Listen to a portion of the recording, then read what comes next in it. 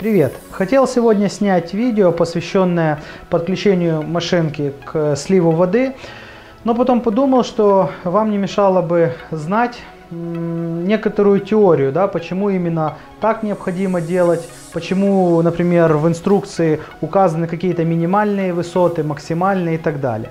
Поэтому у меня будет сейчас скажем так, э, небольшой ликбез, приблизительно по программе 7 класса по физике. Вот. Кстати, мне очень часто пишут на моем канале, что я рассказываю элементарные вещи, которые дети должны учить в школе. Вот. Но у меня нет для этого какого-то объяснения, так как у нас все, что происходит э, в мире, оно подчиняется законам физики. И некоторые из этих законов мы действительно учим в седьмом классе. Поэтому поехали. Значит, смотрите, у нас есть стиральная машина. Нарисуем ее вот таким вот квадратиком. Вот. В этой машине у нас э, есть бак. Бак у нас тут такой вот кругленький. Вот. В общем-то, вот в этот бак у нас наливается вода. Когда у нас идет стирка в нем и так далее, то есть вот у нас есть вот такая вот вода в ней. Значит, нам необходимо вот эту воду с машинки слить. Каким образом это все происходит? Где-то вот здесь вот у нас э, в нижней части машинки стоит вот такой насосик, вот, который патрубком подключен к баку. Соответственно, машинка э, через этот насос сливает воду и вот где-то вот здесь у нас вот выходит шланг из стиральной машины. Все это, соответственно, заполнено водой. Вот. Так как у нас уровень воды здесь выше, правильно? Значит, что у нас будет, если мы вот здесь вот откроем шланг? У нас эта вся вода просто-напросто начнет вытекать из машинки. Значит, э, многие заблуждаются, что здесь вот где-то вот на вот этом этапе внутри машинки должен какой-то стоять затворный клапан, который не дает этой воде вытекать. Но, к сожалению или к счастью, такого нету. То есть, если мы опустим шланг, к примеру, на землю, вот, то отсюда у нас побежит вода. И все это будет происходить до тех пор, пока у нас вода э, с бака не сольется, ну, к примеру, вот там до вот этой вот точки, правильно? Что мы делаем? Мы поднимаем вот этот шланг. Вот. Поднимаем его, предположим, сюда, да, и где-то здесь у нас находится э, слив, к примеру, там канализационная труба, куда мы будем сливать воду. Значит, что у нас происходит? У нас вот уровень воды в машинке, поэтому вода будет самотеком выбегать э, в канализацию до того э, момента, пока вот этот уровень не сравняется с уровнем воды в машинке. То есть вот до сюда у нас вода в машинке сбежит, потому что у нас находится вот этот шланг довольно низко. Поэтому э, у нас, например, в инструкции, ну вот сейчас я ее возьму, вот, надеюсь вам будет видно, может быть даже так вот поднесу поближе. Значит, у нас вот в инструкции нарисовано, что конец шланга должен находиться минимум 60 сантиметров от э, пола, максимум 1 метр. Ну, это мы рассматриваем конкрет, в конкретном случае. Ну, 60 сантиметров в стиральной машине это приблизительно э, сантиметров на 10-15 выше уровня, э, скажем так, середины барабана, да. Рисуем тут середину. Вот, вот это вот приблизительно здесь зазор 10-15 сантиметров. Поэтому, значит, нам необходимо, чтобы э, точка слива в стиральной машине, это желательно, скажем так, не обязательно, а желательно, находилась на высоте 60 сантиметров. Тогда, когда мы сюда поднимем шланг, у нас вода не будет выходить самотеком, так как уровень воды максимальный, который набирается в машинку, у нас достает только до сюда. И теперь для того, чтобы вот на вот эту высоту еще поднять, нам необходимо теперь включить насос, который ее принудительно выгонит. Но кто-то мне сейчас скажет, или может быть подумал, что ну как же так, у него слив воды находит, находится на уровне, воды, э, на уровне пола, вот здесь вот, и у него машинка нормально работает и ничего туда не стекает. Тогда вы обратите внимание, что у вас, когда шланг выходит из машинки, он у вас, скорее всего, сзади за машинкой закреплен, ну или сзади, или где-то еще, закреплен и поднимается вверх, после чего опускается сюда вниз. Вот таким вот образом. Сейчас я сотру лишнее, чтобы оно вам тут не мешало.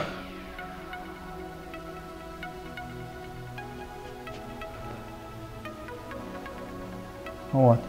То есть что у нас тогда получается? У нас получается, что вода в шланге опять же поднята вот до вот этого уровня. А дальше она не может подняться.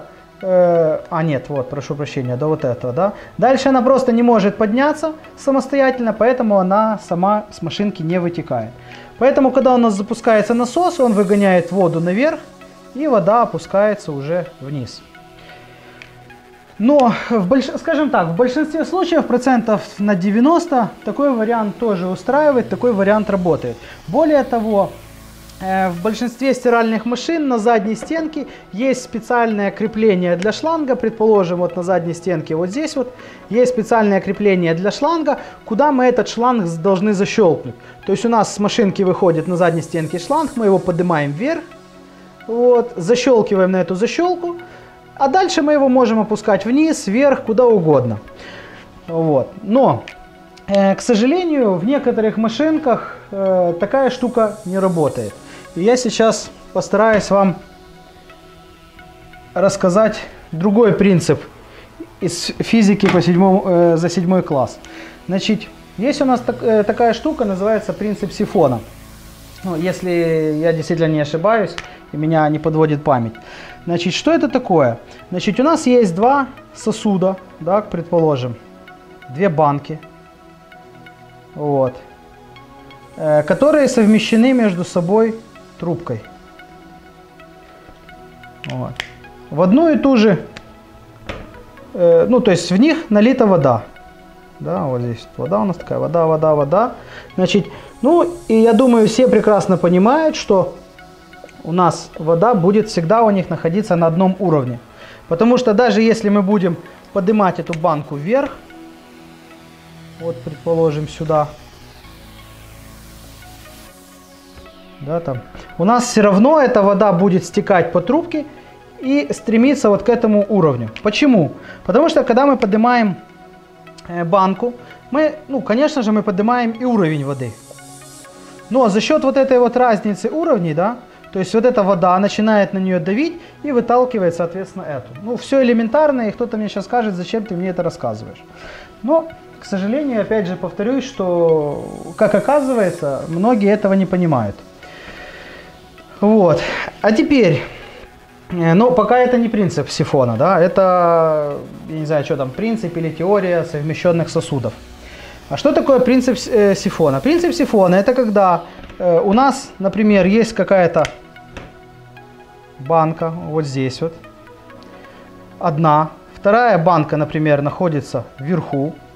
Может, могут даже две, э, две, даже давайте так, для э, более понятного, да, сделаем две одинаковые банки на одинаковой высоте. Вот. Но в которых есть трубочка. И предположим, вот так вот она идет, эта трубочка. Вот. Значит, здесь в этой банке у нас налита вода. В этой банке у нас налито, ну, предположим, вот столько воды. Как вы думаете, у нас же потечет вода из этой банки сюда?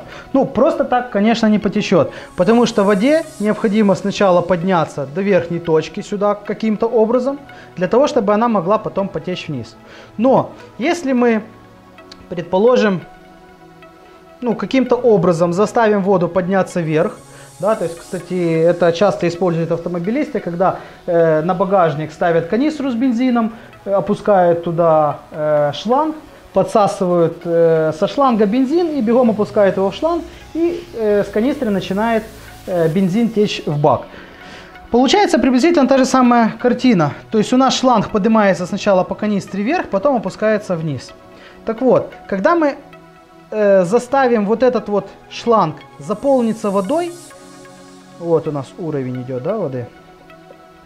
Как только мы подсосали вот здесь, или каким-то насосом, я не знаю, там, или ртом, да, мы подсосали, у нас заполняется вот этот вот э, шланг вот до сюда. Значит, ну, даже вот так вот, до сюда, чуть-чуть выше уровня воды.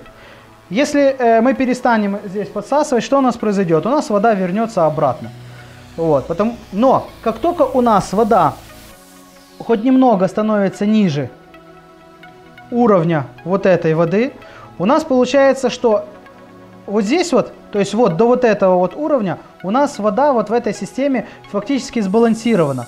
То есть ее такое же количество воды тянет вниз, сюда. То есть вот эта вода от этой точки, э, верхней самой, э, тянет воду сюда, правильно?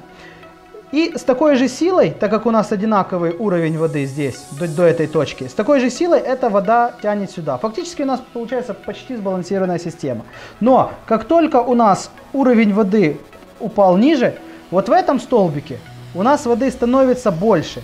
Предположим там, ну пусть даже на 10 грамм этот столбик становится тяжелее, чем вот этот вот. И вот, этот вот, вот эти 10 грамм начинают воду тянуть вниз, она начинает опускаться еще ниже по шлангу. Вот. И, соответственно, э, раз здесь вода начинает двигаться сюда, у нас тут должен либо образоваться вакуум, либо он будет подсасывать из этого сосуда воду. И все это будет происходить до тех пор, опять же, пока у нас не сравняются уровни. Здесь будет вода набираться, а здесь вода будет опускаться. Как только у нас сравняются уровни воды в этих двух сосудах, значит, э, у нас сразу эта система, получается, сбалансируется, и у нас будет одинаковый уровень в обоих э, банках, да. Вот, то есть получается принцип сифона – это то, что заставляет воду самотеком подниматься вверх и потом, например, куда-то убегать.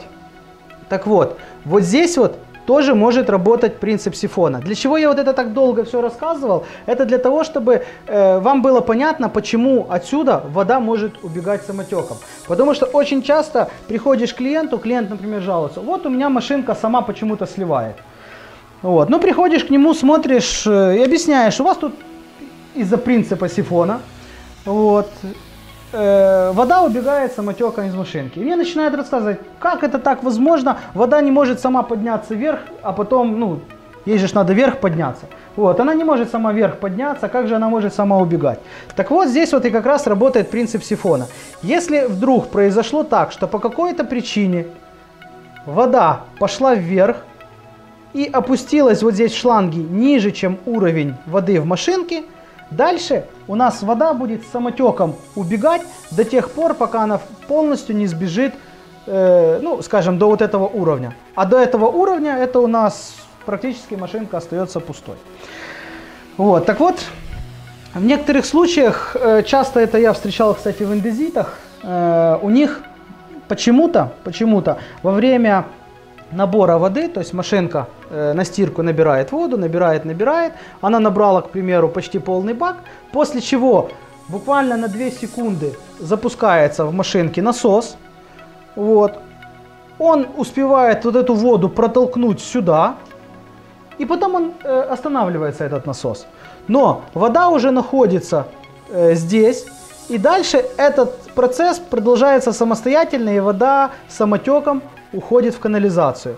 Что при этом происходит? При этом происходит, что вода в машинке падает, какой-то тут стоит там датчик уровня воды, который определяет, что уровень воды упал, и начинает заливать в машинку опять воду.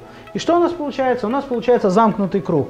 Сюда в машинку вода попадает из крана, потому что машинка заливает, так как уровень воды падает. А здесь вода в этот же момент самотеком вытекает из машинки, хотя э, насос в этот момент э, стоит, не работает, но, скажем так, принцип сифона запущен, и, вода пошла э, выходить из машинки. Поэтому, если есть возможность, я бы всегда рекомендовал делать слив воды на высоте 10-15 сантиметров выше, э, скажем так, середины барабана. Ну или хотя бы на 10-15 сантиметров выше уровня воды. Современные машинки наливают воды, вот у нас тут, предположим, есть стекло, ну дверка, да, а, э, люк, через который мы загружаем в машинку воду. Фу, ты воду говорю, белье. Поэтому я бы рекомендовал, ну, то есть и приблизительно они наливают где-то по э, стекло воды. Поэтому вы хотя бы старайтесь э, делать чтобы вот этот конец шланга или вот этот вот слив, да, вот, находился э, выше э, на 10-15 сантиметров, чем край нижней люка. Хотя, опять же говорю, что вот, например, LG нам рекомендует делать на высоте 60 сантиметров. Это на 10-15 сантиметров выше э, середины барабана. Э, значит, какие еще бывают ошибки? Кстати, очень часто я встречал, когда человек сам приехал домой, подключает машинку, вот, у него слив на уровне пола, вот здесь вот.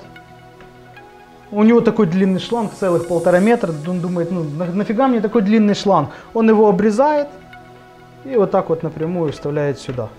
Вот, потом приходишь и приходится человеку заказывать шланг новый сливной и э, менять новый шланг. Еще что бывает? Бывает у некоторых людей действительно слив вот здесь. Дальше этот слив пошел вниз, к примеру, куда-то к канализационной трубе. Я надеюсь, вам еще понятно, что тут калякаю. Вот. Э, у него есть шланг полтора метра. Он себе понимает, что у него тут слив на высоте 60 сантиметров, поэтому ну, все отлично, что, что тут еще надо. Он вставляет сюда э, в сливное отверстие вот этот шланг. У него остается еще целый там метр шланга лишнего, который э, вроде бы как некуда деть, он там где-то за машинку его спрятать лень, а тут он где-то возле машинки валяется, э, там целый метр шланга, у него такая смекалка срабатывает, а давай-ка я его запихну туда. Ну, там же труба идет, в принципе, ничего не мешает. И человек начинает вот этот вот весь лишний шланг засовывать вот в это, вот в это сливное отверстие. И что происходит? У нас вот этот шланг начинает опускаться вниз, вниз, вниз, вниз, вниз и дошел аж до сюда. Вот. И что у нас получается? Получается ровно то же самое. То есть у нас есть возможность э, работать принципу сифона. Да? Вот. Ну, я надеюсь, что я более-менее доступно э, вам это объяснил. Вот. Почему необходимо э, по возможности делать э, слив, то есть чтобы э, конец шланга заканчивался на высоте 50-60 сантиметров. Значит, ну, если нет такой возможности, значит, надо хотя бы делать вот это вот колено. То есть для того, чтобы шланг сначала поднимался вверх, потом опускался вниз. Но в некоторых случаях, как, например, с индезитом, этот э, вариант может не работать. Причем, э, бывает даже такое очень часто, когда человек, вот, например, купил себе стиральную машину индезит, он ее подключил, она у него вот таким образом подключил ее внизу, вот, она у него довольно длительное время работает, это может год-два, все нормально. Потом человек замечает, что у него машинка, ну, как обычно говорят, они не говорят, что у нас машин, вода с машинки вытекает, да, они говорят, звонят, говорят, вы знаете, у меня почему-то машинка последнее время на протяжении стирки все время наливает воду. Вот. Э, ну, я, в общем, уже понимаю, из-за чего это происходит. Приезжаю к клиенту и начинаю объяснять. Я говорю, вы понимаете, у вас с машинки самотеком уходит вода. Говорит, а как это может быть? Я говорю, ну, начинаю, пытаюсь вот это вот все ему объяснить. Мало кто, честно говоря, это понимает. Потому что, ну, тут я вам хоть на доске рисую, а на пальцах это объяснить немного сложнее. Вот, и он мне говорит, что да быть такого не может. Ну, я говорю, машинка ваша воду наливает? Он такой, наливает. Я говорю, с машинки вода у вас течет на пол? Он говорит, нет, не течет. Я говорю, так что у вас тогда резиновая машинка, то есть она все время наливает, наливает, но вода в ней куда-то телепортируется? Он говорит, нет. Я говорю, ну значит она стекает в канализацию. Ну, ладно.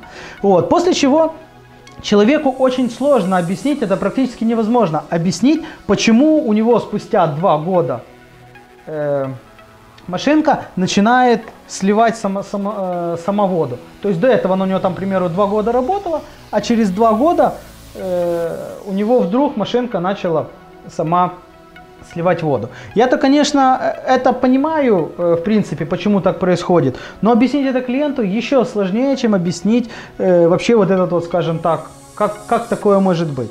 А происходит это, ну, надеюсь, хоть кто-то поймет, что я сейчас, э, ну, почему так происходит. Происходит это потому что, то есть, к примеру, смотрите, стиральная машина запускает на 2 секунды э, насос, и закачивает в этот шланг за эти 2 секунды, предположим, 2 литра воды.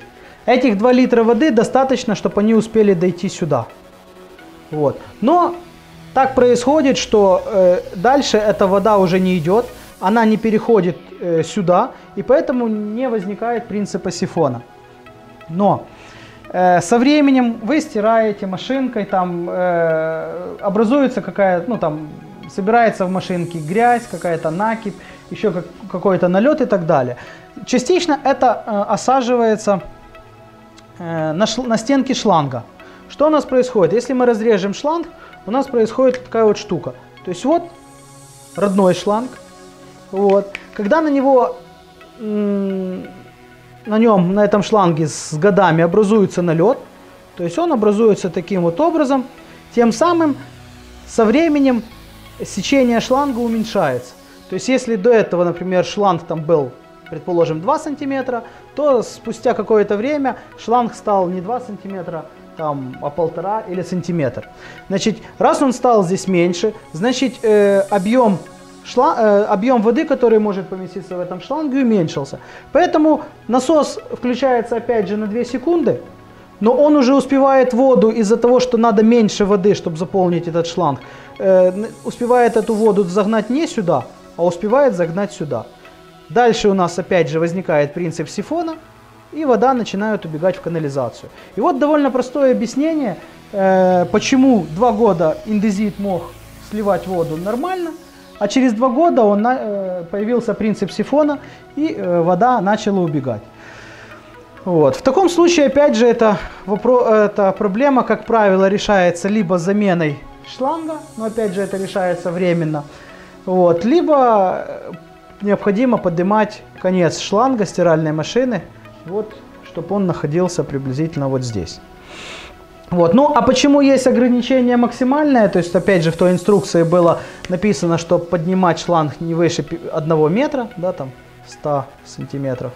Вот. Это э, потому что эти насосы, они не очень, скажем так, э, мощные. Ну, не то чтобы мощные даже в плане потребляемой мощности. У них не очень большая мощность, которую они выдают, ну, на слив воды, да. Вот. И просто уже чем выше у нас поднимается шланг, тем сложнее насосу выкачивать воду, у него падает производительность. И если, например, у машинки отведено на слив воды там 2 минуты, вот. А если машинка, предположим, не слила за 2 минуты, э, электроника понимает, что есть проблемы со сливом и выдает какую-то ошибку, останавливается стирка. То когда мы поднимаем довольно шланг высоко, она начинает очень медленно сливать и может просто даже не вложиться, предположим, в эти же 2, 2 минуты. В данном случае время 2 минуты, я говорю так, гипотетически, да, то есть у каждой машинки это время свое и там, ну, может там 2 минуты, может 5 и так далее. Вот. Ну, то есть просто машинки значительно сложнее сливать воду. Кстати, так если ориентироваться, 1 э, метр это приблизительно на 15 сантиметров выше, чем сама стиральная машина, так как машина стиральная имеет высоту стандартно 85 сантиметров. Вот, ну, такой у нас получился немного, ну, может быть, немного сумбурный, да, э, ликбез, но я постарался это объяснить так, как я это вижу – вот. И честно скажу, вот эти вот знания меня часто как раз вот выручали вот в этих ситуациях, когда, казалось бы, э, вроде бы как это не поддается логике, но, как оказывается, все довольно логично, просто и поддается законам физики за седьмой класс. Э, если это видео оказалось для вас интересным или полезным, ставьте лайки, подписывайтесь на наш канал, чтобы не пропустить дальнейшие интересные видео, пишите комментарии. Всем спасибо, пока.